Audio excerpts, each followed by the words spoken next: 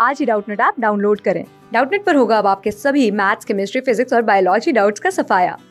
बस अपने क्वेश्चन की फ़ोटो खींचो, उसे क्रॉप करो और तुरंत वीडियो सोल्यूशन पाओ। Download now. स्वागत है आपका डाउट नेट में। यहाँ पर प्रश्न दिया हुआ है। निम्नलिखित प्रश्न में दिए गए पाँच शब्दों पर आधारित है। And for the big sum दी गई सूचनाओं के आधार पर व्यवस्था परिवर्तन के बाद प्राप्त अंग्रेज़ी के नए शब्दों का अर्थपूर्ण होना आवश्यक भी हो सकता है और नहीं भी। यदि दिए गए शब्दों के वर्ण को अंग्रेज़ी शब्द के क्रमानुसार बाएँ से दाएँ व्यवस्थित किया जाए तो निम्नलिखित में से कौन सा शब्द दाएँ से दूसरा होगा? यहाँ पर जो शब्द दिया हुआ है, उसको लिखते हैं and for the big sum. अंग्रेज़ी शब्दकोश के अनुसार इसे व्यवस्थित करते हैं।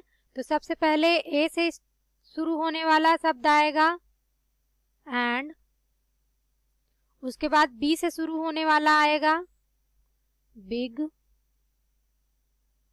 फिर एफ़ से शुरू होने वाला आएगा फॉर फिर उसके बाद एस से शुरू होने वाला शब्द आएगा और अंत में टी से शुरू होने वाला शब्द आएगा। इस तरह से हमने इसे क्रमानुसार लगा दिया।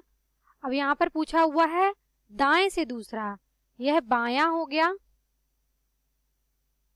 और यह दायां हो गया।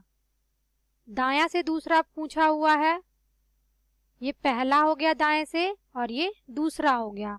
दूसरे स्थान पर सम मिल रहा है। विकल्प में देखते हैं विकल्प नंबर चार, सम सही जवाब होगा। आशा करते हैं आपको वीडियो पसंद आया होगा। धन्यवाद। क्लास सिक्स से ट्वेल्थ से लेके NEET I I T JEE mains और एडवांस के लेवल तक। दस मिलियन से ज़्यादा स्टूडेंट्स का भरोसा। आज ही डाउनलोड करें डाउट नेट आप या व्हाट्सअप कीजिए अपने डाउट्स आठ चार सौ चार सौ चार सौ पर।